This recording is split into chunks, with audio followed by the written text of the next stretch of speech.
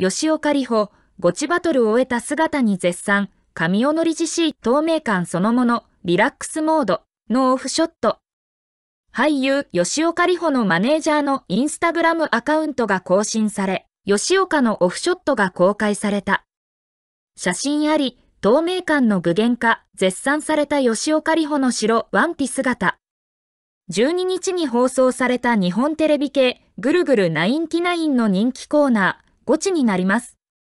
に出演した後の姿を写した3枚を投稿し、吉岡さんはゴチ初参加でしたが、食事中の和気あいあいから一転、結果発表の緊張感。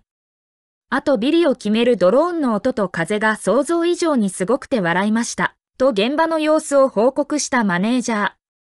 さらに、写真はゴチ収録を無事終えてリラックスな吉岡さんこれはもう透明感そのものなんよ、と絶賛し、ファンからも、本当に、透明感の具現化なんよ。透明間伐群で神踊りじしい雰囲気が漂ってますね、と反響が相次いでいる。